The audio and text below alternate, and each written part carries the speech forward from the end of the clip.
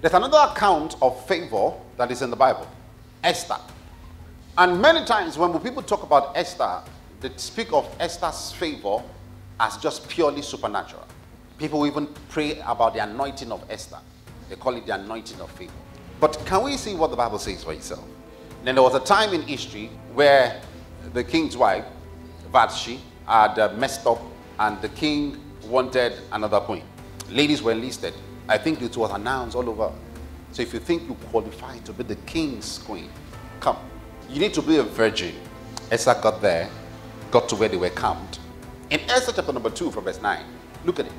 They all got there and everybody was doing their thing. You brought your own thing. You know you're a fine girl. Everybody in your family told you, except that they were lying to you.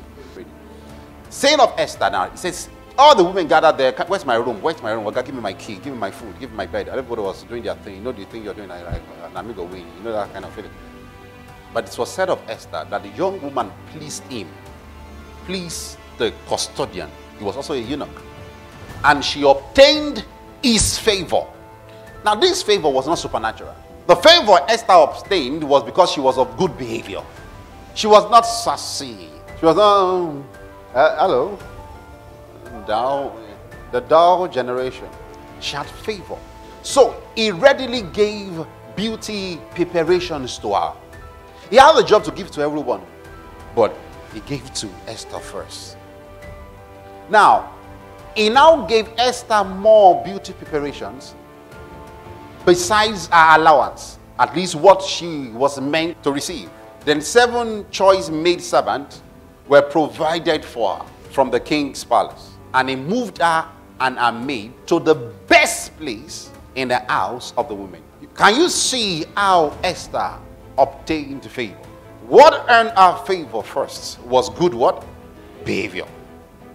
As much as favor is supernatural, favor is also behavioral. So she was there for 12 months. If she was hiding her behavior in 12 months, it would have been seen. Am I right? So it means that she was properly cultured. So the whole idea was that after you're there for 12 months, when it is time, you'll be sent to the king. You spend the night with the king. So some of these girls, before they left home, their mother would have told them, see, this is how to undo a man at night. She would have communicated. This is how to do this. This is what to say. This is what to touch. This is how to move. So they came prepared. But when favor is at work in a man's life or a woman's life, the Lord will begin to introduce someone that knows the king to you, that will really tell you what the king wants. So many of them went in there ready, like, ah, tonight, Obayagba, that king will know that he has met somebody tonight. So some of them went in with the mentality like, okay, tonight sex will be terrible. Tonight, whatever will be this. Tonight, this will be that. They went with all kinds of thought. But Esther had access to someone that knew the king's art. The king custodian told Esther, these are the things you should go with. You don't need to go with um, massage oil. You don't need to go with this. You don't need to do this. The king does not want this. The king does not want that. After Esther was properly schooled, it was time for her to go in. They asked Esther, what are the things you need to go in with? Read what the Bible says yourself. Now when the turn came for Esther, the daughter of Abia, right? The uncle of Mordecai, eh, who had taken as his daughter to go into the king. She requested nothing but what, what? Hegai, the king's eunuch.